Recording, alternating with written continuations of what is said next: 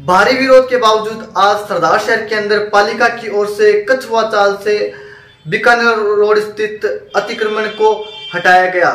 इस दौरान व्यापारियों ने अपना विरोध दर्ज कराए। व्यापारियों का कहना था कि जो प्रभावशाली लोग हैं, उनके अतिक्रमण नहीं हटाए जा रहे हैं, जबकि चुनिंदा लोगों के ही अतिक्रमण हटाकर इतिश्री कर दी जाती है। व्यापारियों को विश्वास में लेने के लिए नगर पालिका अधिकारी की ओर से प्रभावशाली व्यक्तियों के भी अतिक्रमण को हटाया गया, जिसके बाद से व्यापारियों ने भी इस अतिक्रमण को हटाने अपना सहयोग दिया।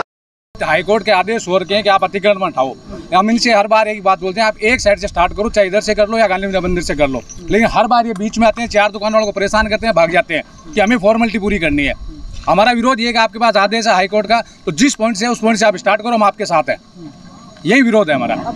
लेकिन प्रशासन का कहना है कि ये जो उनको भी आदेश दिए गए यहाँ से दिए गए थे और आदेश नहीं है आदेश बीकानेर रोड के बीकानेर का स्टार्टिंग पॉइंट कहाँ है आपको भी पता है। और एंड पॉइंट कहाँ है ये भी आपको पता है। तो आप एक साइड से स्टार्ट करो हम आपके साथ हैं प्रशासन के। प्रशासन खाली गरीब लोगों को परेशान करता है और कुछ नहीं है। यहाँ पे आते हैं हर पाँच महीने गरीब को करके चले जाते हैं परेशान और हम पैसे वालों को कुछ नहीं करते हैं। यहाँ पे आगे जाओ वो अतिक्रमण नहीं है बीच में से हर बार ये पंद्रह जो दुकानदार है उनको ही परेशान करना इनका नियम बन चुका है। और कोई अतिक्रमण नहीं करते कि आप आगे जाओ कृषि मंडी साइड जाओ इधर आगे जाओ घूमचक्कर साइड वहाँ पे भी तो अतिक्रमण है। सिर्फ़ यहीं पे क्यों आते हैं स्पेशली अतिक्रमण हटाना हाईकोर्ट के आदेश के अनुसार सब लोग एक समान है। ऐसा नहीं है कि कोई पैसे वाला है कोई गरीब है। तो वो सब पे ही लागू होता है ना? तो वो उनका हटाओ। हाईकोर्ट के आदेश का हम ये माननीय उच्च न्यायालय जोधपुर की रिट पिटिशन के निर्णय के अधीन बीकानेर जो बाईपास है, इस पर हमने पीडब्ल्यूडी के सहयोग से कुछ अतिक्रमण चिन्ह किए थे, जिसमें दो सौ तेईस अतिक्रमण पूर्व में हटाए जा चुके हैं।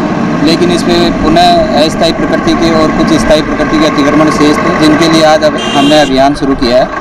हमारे स्थानीय प्रशासन के सहयोग से और नगर पालिका कार्मिकों के सहयोग से ये संपूर्ण हम छः सात रोज तक लगातार अभियान करके और माननीय न्यायालय के आदेश की पालना करेंगे और अतिक्रमण हटा के लोगों को राहत प्रदान करेंगे। धन्यवाद। गौरतलब है कि जोधपुर उच्च न्यायालय के आदेश से एक बार फिर शुरू हुए अतिक्रमण हटाओ अभियान में नगर पालिका अधिशासी अधिकारी देवीलाल बोचलिया ने साथ दिखाया।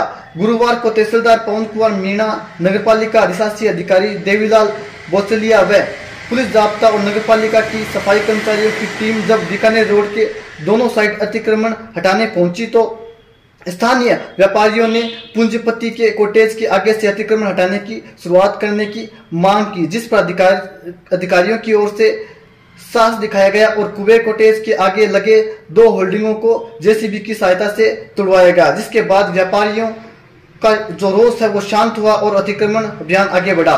इस अवसर पर नगर पालिका अधिशासी अधिकारी देवीलाल बोचलिया ने बताया कि पूर्व में दो अतिक्रमण हटाए गए थे, लेकिन कुछ स्थानीय दुकानदार वापस अतिक्रमण कर लेते हैं, जिसके चलते इस बार सख्ती से कार्रवाई की जा रही है। नगरपालिका की टीम पुलिस जाब्ते के साथ पहुँची है और नगर पालिका की टीम द्वारा अतिक्रमण हटाया जा रहा है और अतिक्रमण करने वाले से जुर्माना वसूला जा रहा है।